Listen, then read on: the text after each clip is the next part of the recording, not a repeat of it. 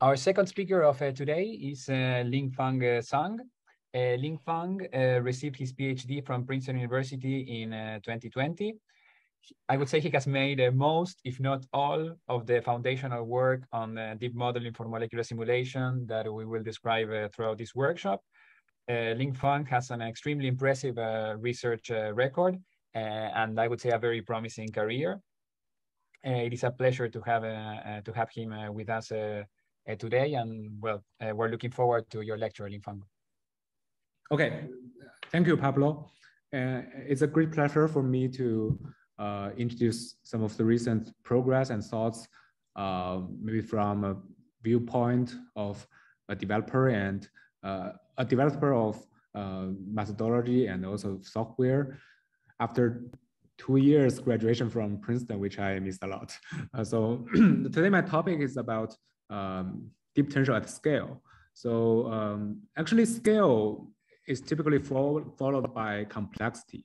So uh, uh, in during the process of developing the methodology, what, what, what I realized is actually is it requires a joint development of both of model, data, and software, and actually uh, also the community.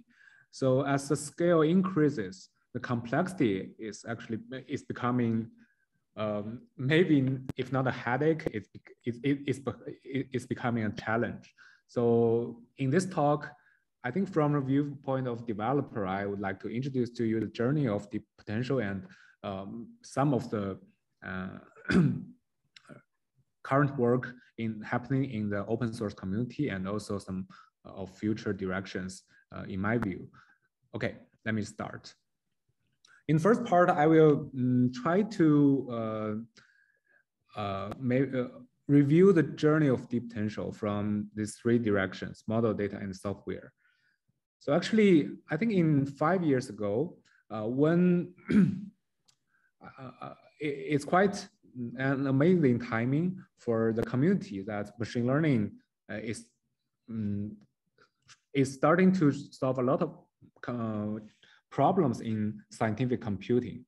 And at that time, what we realized was that actually a systematic opportunity for machine learning is that we can use the um, expressive power of uh, deep neural networks and other tools brought by machine learning to bridge different scales in scientific computing. So we have length scales, time scales, and along with these scales, we have different models different physical models and different tools or theories uh, at different levels.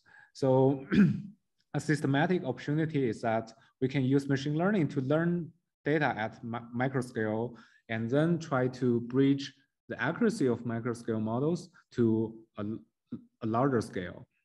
So a, a typical story here is that we can use a deep potential model to uh, learn data generated by DFT and more expensive uh, quantum chem chemistry models. And then uh, we can just perform molecular dynamic simulations with the accuracy of the underlying DFT models. And that's the hope. And actually, that's that has be, become a very systematic uh, solution to the long-standing accuracy versus uh, efficiency problem in molecular simulation.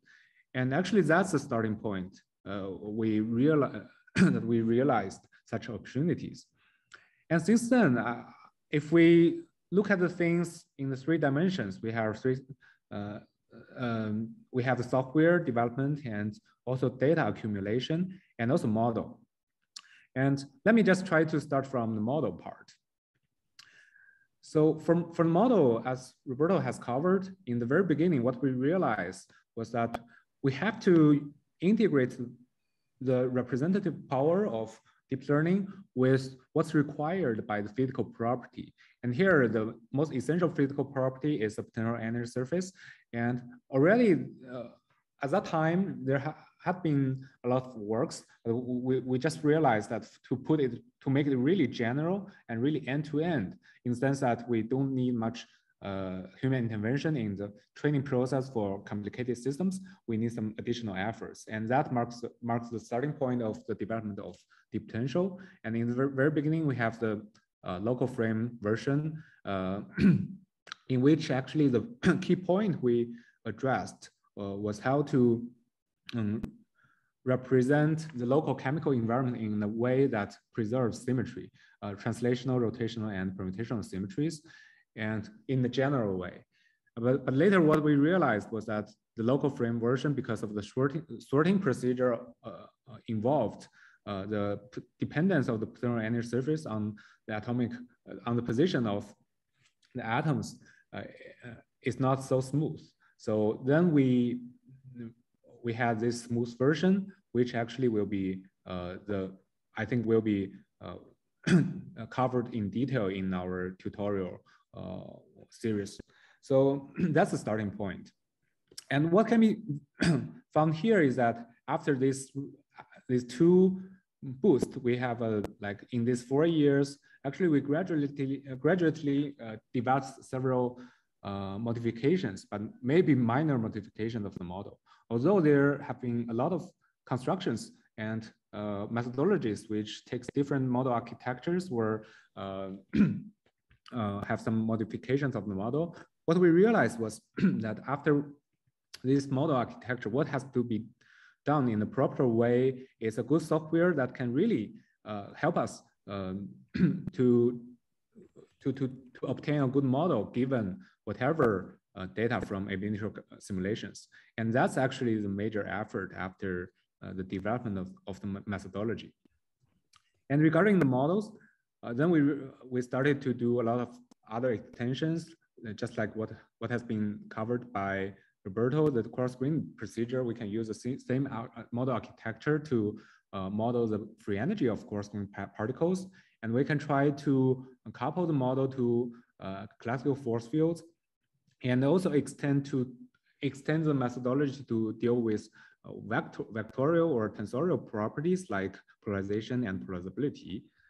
And uh, then later on, uh, and I think this will be covered by Professor Darren York, uh, in, it can be integrated in a QMM, QMMM procedure, and also for system where long range interaction uh, play a major role, we, we, we, we build up this uh, deep potential long range model. Uh, and uh, based on the one, Wannier formalism. And also during the development of the model and, and uh, the process in which uh, a lot of applications is actually um, explored based on the model architecture, we also realized some problems of the original uh, re representation of the uh, model. And here we, we have a construction of the three-body embedding in which we address a specific problem of the model representation that I will cover later. So that's the mo modifications of the model. And then what I want to mm, cover uh, later is that actually now is the critical timing. So as the data accumulates, now we have a lot of data covering maybe even more than half of the uh, periodic table. And we have now accumulated a lot of data. And also we have like viewed, we, we have witnessed some later development of uh, AI in other areas like CV and NLP, in which we have some large scale pre-trained models like GPT-3, which inspired us that if we have enough data, what if, whether we can just have a unified model, uh, maybe pre-trained to start with. If we have that model and data, maybe for new applications, we don't need to just start, start from scratch, start from generating uh, from scratch the model, uh, the uh, ab data and model, but we start from a good model and transfer or uh, uh, distill the model to a new, fine tune the model to a new application. If that could be could happen, I think that will be a new starting point from uh, for the community. So I think now we are at the timing where this could become possible. And this is a project called, let me just call it DP pre-trained model uh, that I will introduce later. And also another project you can see it in the um, GitHub is differentiable molecular force field, which deal with the issues that in which we realize that um, for systems involving organic uh, molecules were, were, large, were, were, were, were large bio-related molecules, uh, typically the input is not only atomic positions, atomic types, but also the topology uh, of how the atoms are connected with each other, how the local environment are, um, are fixed. So this kind of information will be very important for such kind of systems. And but uh, but previously, if we start from scratch and consider, consider only the symmetries and local complexity of the lo local environment, such prior knowledge cannot be used. So if we want to just incorporate such kind of prior knowledge, we need a new framework. Uh, and that's the, the development of, of the deep uh, DMFF. So I was I would say like in the very beginning, it's just a construction of the single model, which is promising for a lot of different applications. And as the development of the model proceeds, uh, we, we, we, we have several modifications, but actually the modifications are more like application driven. So this is a journey of DP in terms of model development. And we have data part. actually, the accumulation of data is associated with uh, several, maybe hundreds of applications using DeePMD-kit to solve uh, problems in different areas. In the very beginning, what we have is that we already have some existing expensive DFT data, just like what's in the original papers of the potentials. We actually have very expensive uh, data from uh, simulation of water at ambient con condition, uh, maybe treating treated in, uh, at high, at very um, expensive level. And that's the starting point. And what's what can be uh, tested is that given such data, we, we can fit it and we can just then have a model that can replace the original uh, expensive calculator for such single situation. And then as uh, there, there, uh, as the number of applications in, increased, actually the accumulated, accumulated data is also increasing. So then people have then the, we we we have had to just uh, think of think about the possibility whether we can just general uh, generate a, maybe a gen, general purpose model uh, for specific applications like alloys or the phase di diagram of water. So then in that case, what we need is a tool like DP generator and which give which gives us the possibility to generate systematically the minimum set of training data and resultant reliable model. So that's what's happening for data. And then as the data accumulates, we, we, we have now several uh, models uh, covering part of the periodic um, table and also the associated uh, training data set. That's what's happening for data. And then uh, also like what as recorded in this web page, there has been like uh, more than hundreds of uh, papers using the, the software, uh, literally using mm, DeePMD-kit to uh, investigate problems in different areas of science. So that's the data part and data is associated with applications. And, and then the most I would say the most complicated part uh, is for the software development, which happens in the deep modeling community. In the very beginning, what we, we just want, what we, we just wanted to do is actually to build up the model based on TensorFlow. At, time, at that time, it was like version 0.10. And to, to, to, to base that on the, the model trained from the data, we integrate model with some other molecular dynamics engines like LAMMPS so that that was the starting point and then we realized that we if we we want to generate data and model in a systematic way we need this dp generator which is essentially a complicated workflow and as the complexity of dp generator in increased we realized that let's say just for the uh, generating of dft data we have different uh, more than 10 different uh, commonly used uh, DFT software we need to integrate in this workflow. And that, uh, with that actually uh, come, uh, some complexity. And if, we look at this picture uh, on the right, before 2018, actually what's, what was typically done was based on the PC that I was using at that time. And I just did, maybe we just did it on PC for all this model production and model test, and then model inference, which is actually long time and uh, large scale molecular dynamics simulations based on DeepMD. And that, that's enough. And then start as the, in, as the scale, scale increased, actually from 2018 and 2022, what, what was developed was that we have this tool, DPGen, and also cloud servers and other uh, open source tools for which we can just using which we can just uh, use different uh, computing resources like PC cloud or HPC clusters to realize several goals like uh, model production, model test, and also uh, in machine learning, it's called model inference, but just different kinds of molecular dynamics uh, simulations uh, for different applications.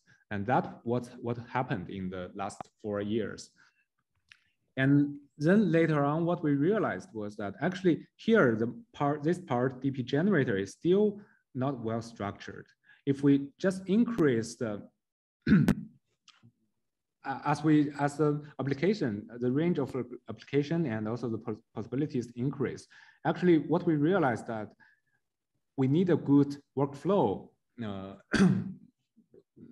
tool like like here DeepFlow to help us to talk to different kinds of machines and also to to to build up different workflows because here DP generator is a specific workflow. And if we want to just do it in a proper way, we need some better design. And that's what happening here. So then we can see that actually as the uh, methodology become more and more popular, uh, it's really a joint development of these four components, model, data, software, and also, as well as the community. So then we we, we can think about two kinds of futures. One is that we have more and more complicated model architectures where some other models from other groups uh, become better and uh, started to replace the original construction of deep potential, which is possible. And we have more and more complicated simulation protocol because of the complexities. Or as a domain scientists, we just want to, uh, scientists, we just want to have more and more efficient and useful tools. We just want to start from these tools to investigate some certain scientific problems. Definitely, I, I think as a domain scientist, we, we, we want the latter. And also for new project, do we really want to just always start from generating model and data from scratch? Or if possible, if we have a new starting point, we can, for different kinds of projects or applications, we can start from the best starting point. I think these are problems left for the developers and uh, for which I want to just introduce in more detail. Okay, so then with this journey in mind, let's just have a quick look of the model construction. And I think half, half of this part has been covered by Roberto, so I will just um, try to uh, speed up. So important quantities as scales between quantum mechanics and molecular dynamics includes this planar energy surface, which is scalar, and also some vectorial and tensorial properties like polarization and polarizability in the very beginning of the development of the methodology, what really matters is some key requirement from physics that we have to uh, follow. And by following that requirement, also by integrating the represent expressive power of neural network, we have the design of the model architecture. And this, this inc includes uh, the requirement of locality and symmetry. And also then we have uh, some general principles for a for the requirement for a reliable physics-based machine learning model, like accuracy, efficiency, locality, and some, some physical constraints. And with the physical constraint uh, satisfied, we also need the model to be end-to-end, -end, where uh, we need to minimize a human intervention. In this way, we developed the original version of the deep potential, and the popular version is the so-called uh, uh the smooth version. I will not cover the uh, details, but I want to say that this is a proper way to for, deal with the symmetry requirements and also giving us the uh, adaptivity and freedom to optimize the parameters in the descriptors. Because in many applications of physics and chemistry, uh, physical and chemical problems, people start from some design of a fixed set of uh, descriptors. But uh, in some truly com complicated cases, actually, we need the descriptors to be trainable uh, so that uh, we can find the best set of descriptors for different cases. So that I think uh, is a, a, a, an important contribution of the original construction of the deep, deep potential model. And then something new is start from the following. So uh, what we realized that is that actually the original construction will work generally fine for most of the cases, uh, we, which is encouraging. But in some certain cases, like here, the deep potential for a pure system tungsten, uh, if we consider the Peierls barrier or point, point defect here, we can see that uh, it's this plot and this uh, this part means the smooth edition, two-body embedding, the original version, and this means the hybrid uh, part. We can see that this, the, the original uh, version of DP cannot differentiate the dumbbell, uh, this energy at different inter uh, surfaces. And so they, they give the same prediction because actually constructively we can uh, give some proof that uh, this is two-body embedding where this original version is not expressive enough for some certain cases. And then with this three-body construction, which actually more explicitly considers the angular dependent of uh, the local environment, uh, we can have this uh, much better prediction here.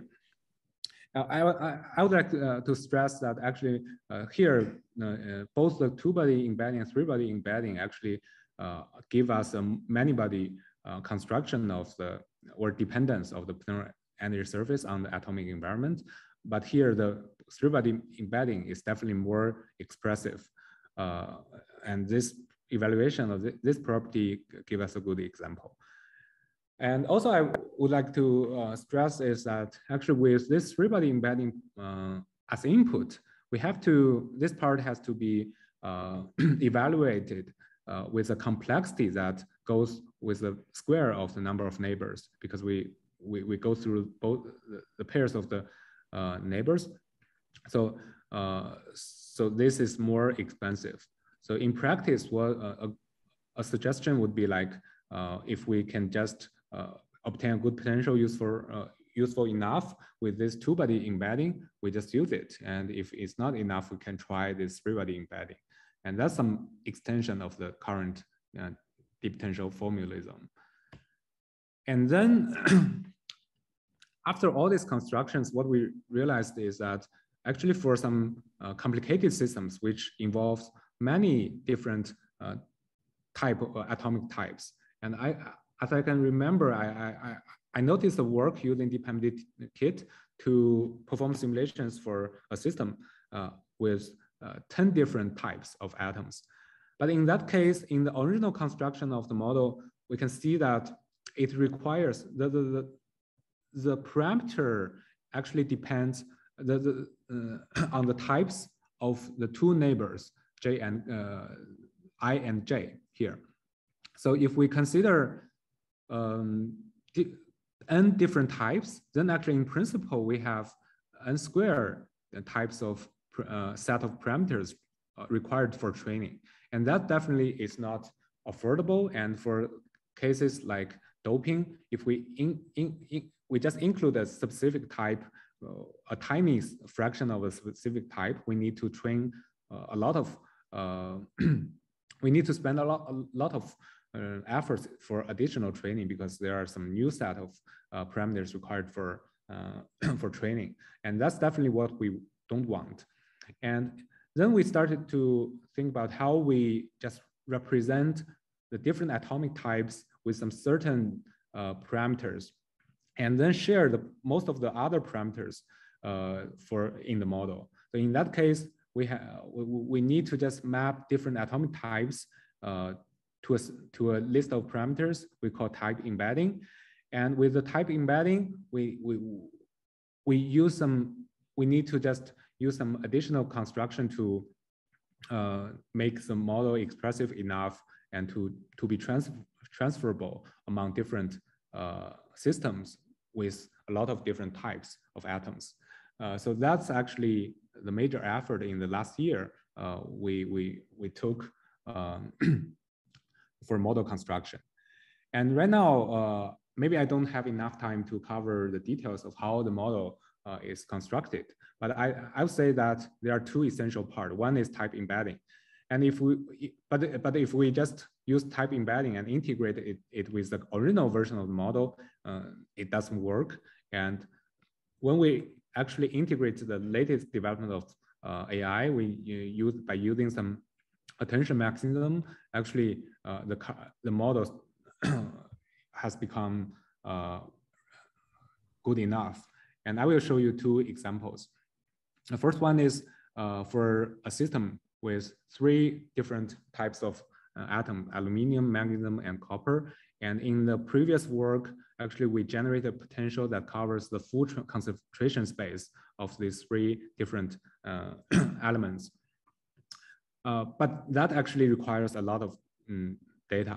And here, what we uh, the, in this uh, experiment, we just use the pre-trained model to, to, to just pre-train it based on the single and binary element data sets. And then we see the learning efficiency of the model uh, and we perform active learning on ternary uh, data set. And we can see here that for the standard deep potential model, even if we have model trained on single and binary element data sets, we still need a, large number of uh, ternary uh, snapshots to make it uh, predictive for, uh, for, for, for, for ternary systems. But here, if we use this attention deep potential model, uh, even with a very small number of added ternary samples, we can already reach a very good accuracy and uh, the, the learning curve is definitely much lower than the previous version. And also if we just pre-train the model with a very large uh, data set, here we use uh, Open Catalyst OC20, uh, which covered like 56 elements uh, which definitely we cannot train using the original version for uh, uh, of deep potential. And we can see that after we have this pre-trained model, we compare three different cases, just start from uh, standard deep potential and uh, the attention potential from scratch and the attention potential pre-trained and uh, free, freezing the embedding parameters. And in these three cases, when tested on uh, like six component high entropy, entropy alloy, we can see that the learning curve is like this. So the accuracy of the model actually increase very quickly if we just have this pre-trained attention DP.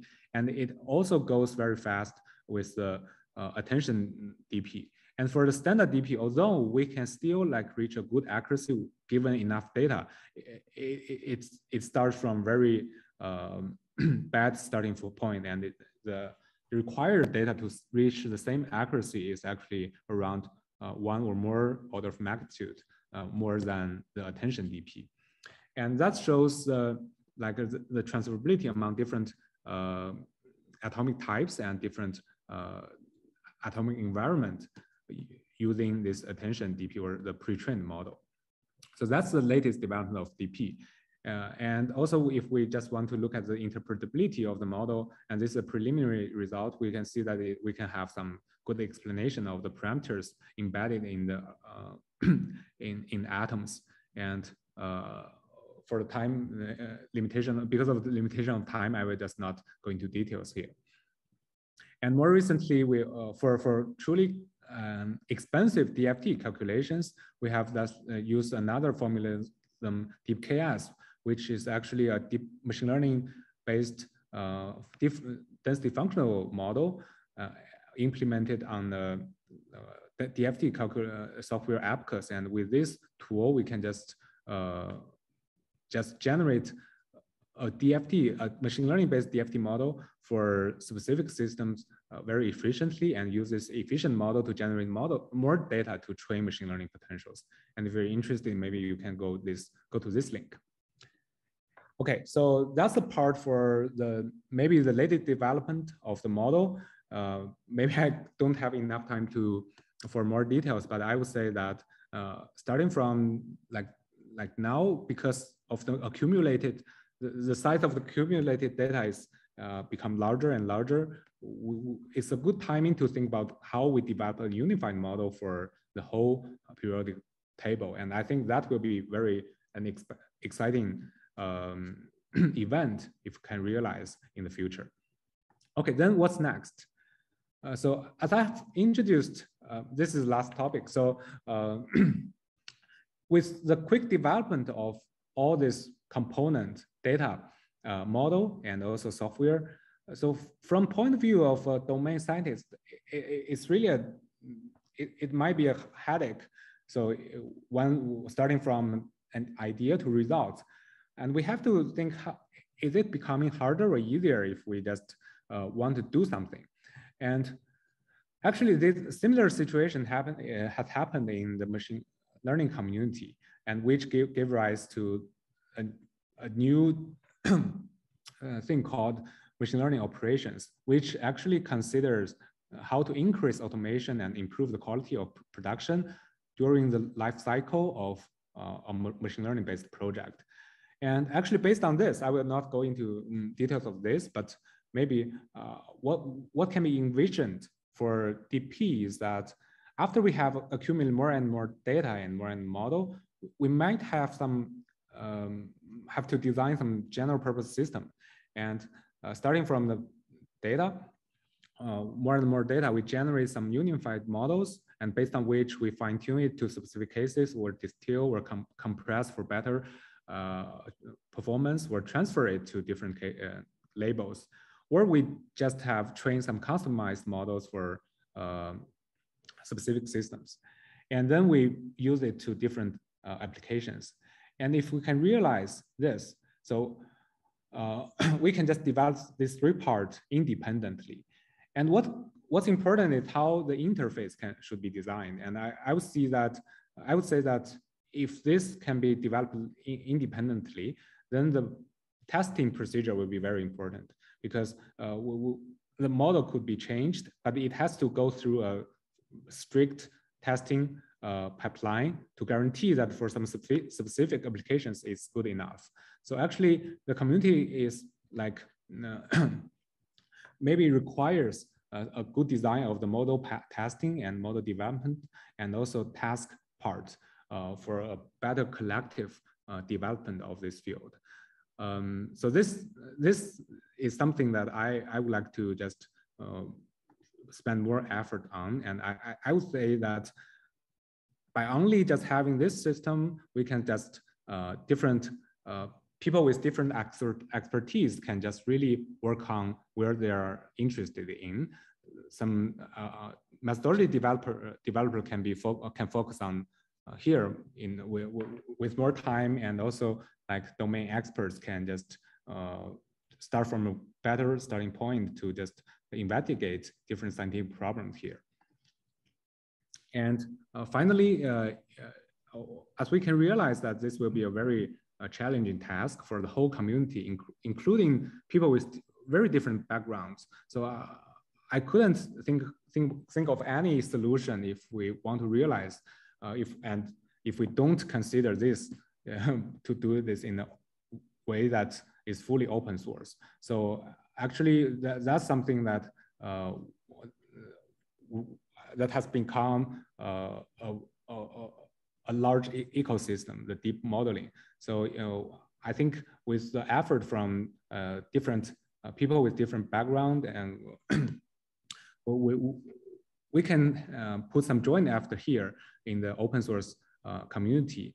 And uh, the, the, the, field is still quickly developing. And I think we are heading towards this kind of collective uh, system. Okay, that's all for my talk. Okay, thank you very much, uh, Linfeng, for, for an excellent talk. you covered so many topics. I have many questions, but I will give priority to, um, ah, there I can see you. oh, I just realized I didn't. okay, I didn't turn on the video. Sorry. That's okay. It's good to see you now. Um, okay. So uh, I have one question here by Tom that says, do you foresee any applications of experimental data in the training processes, such as top-down corrections? Okay, that, that's a very good question. Actually, uh, methodology-wise, that's the purpose. I, I, I think um, we, we, we, we need to just think about. Uh, that's, a, that's a possibility we need to think about. And I, I recently noticed, work from Professor Darren York, right, by considering some experimental data. And actually, uh, what also, what, what, what realized um, here for such kind of possibility is that uh, we need a good system to, uh, to really make this a routine procedure. Uh, because for uh, using DeePMD, we can consider this, but that will need a lot of effort. Uh, that's why also we, we are currently working on a new project, DMFF, also in uh, open source on DeepModeling, using which actually a major feature is, uh, is auto-grad, automatic uh, differentiation. And with this uh, feature, we can better just incorporate experimental data in our training procedure. And that's definitely possible, and but it's a matter of efficiency, how we implement the methodology in practice, in my view. Okay. Um, uh, there are at least uh, five other questions on uh, on the Q and A so, um, feature of Zoom. Linfeng, perhaps can you go through them and if you can okay, okay, definitely. Because I, I mean, I mean, if I have to enforce timing, I, I, I okay, okay, definitely. To, to, the, to, the, next talk. Uh, thank you very much for a wonderful talk. Uh, it's really a pleasure having having you here.